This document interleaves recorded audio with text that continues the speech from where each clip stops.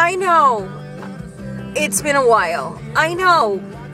I've been disappointing everybody. Just get to the back of the line. Let me turn down the music. Um, yeah.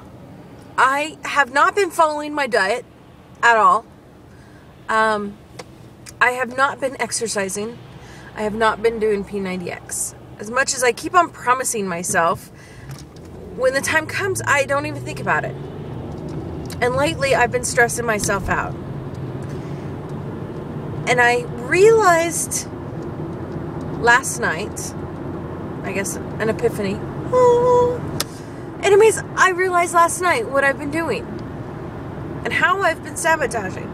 So I did eat breakfast today. I'm just going to throw that out there.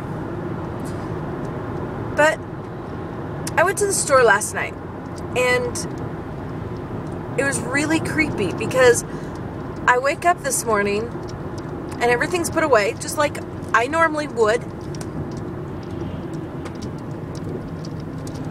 But there was cupcakes on the counter and I was like, well, those are interesting. Those are the same ones that are were at Walmart.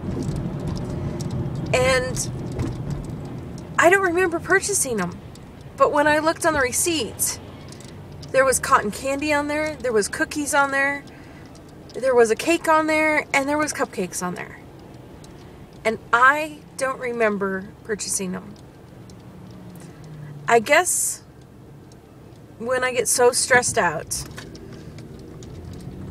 I just absentmindedly do things. And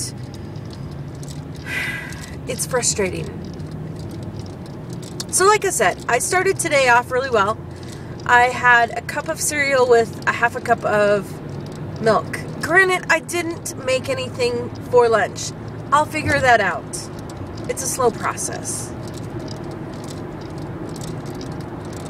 I don't know. Maybe it's a slower process than I want. But